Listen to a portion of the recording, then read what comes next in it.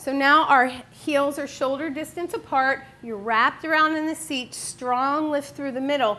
And the trick here is holding the hips still. So this is actually a wonderful buttock exercise. And the hips are really related to the feet, as we will now see. So lift your toes up.